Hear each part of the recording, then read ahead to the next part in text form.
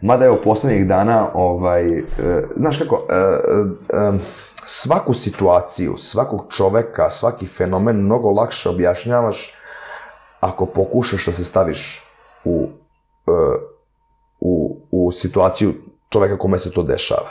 Znaš, i sad, da sam ja taj voljeni, ili ti da si taj voljeni ili omraženi Messi, kako bi doživljavao sada posljednju priliku da osvojiš mundijal i onda se iz tog razloga, iako je milijarder i boli ga uvo i za mene i za tebe i za sve, ja opet gledam onako ljudski i više mi sada empatija vuče, ajde ako mu je već posljednja prilika, tu je na korak, neko osvoji pa koga šiša.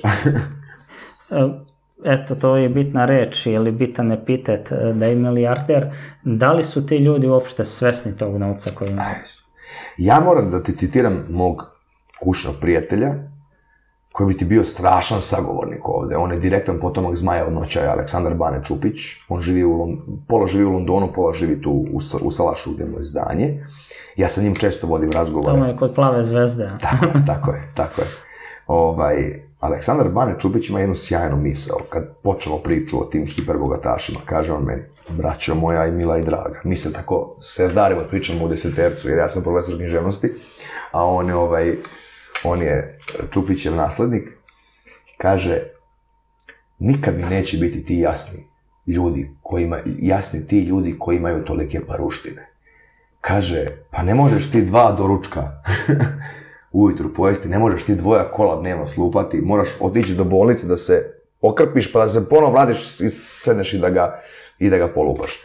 Ovaj, tako da, mislim da su sad Messi kao Messi, Ronaldo kao Ronaldo, oni, oni već isključeni iz tog fenomena novca i da je sad bukvalno u njima ona detinja želja da što više postignu u futbolu, što mislim da je dobro, jer da su, da im se dešavaju, da im se dešavaju ovaj, ovakve stvari u, recimo, 30. godini, mislim, mi, mi to najviše znamo iz bijelnog filma, ali tako, ali da im se dešavaju te stvari u, u 30. godini, da ti moraš da misliš kao milutinac o tome da ćeš imati da prehraniš sutra verenicu ovaj, i da postigneš uspeh i sad da se nečkaš da li ovamo, da li onamo, bilo bi mnogo teže.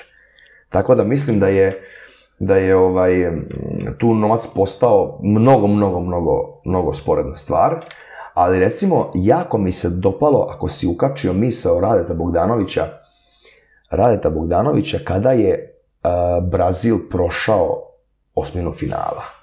Kada je rekao zašto ne voli Neymara. Kaže, evo ti šta pokazuje kakav je čovjek. On smata, ja ne znam da li ga poznaje ili ne poznaje, ali šta, šta je njemu merilo. Kaže da on sve vrijeme, iako je napravio veliko čuvenje oko svog imena i pokazao veliku majstoriju, on i dalje kaže juri za tim paruštinama, ne za nijom koliko ih ima, ali ajmo tamo gdje se, gdje, se, gdje, će, gdje će više da plate, a kulminiralo je kopačkama od 27 milijuna eura, ako si video. Da 27 milijuna eura košta kampanja da će onda nositi kopačke za zlatnim kramponima. E,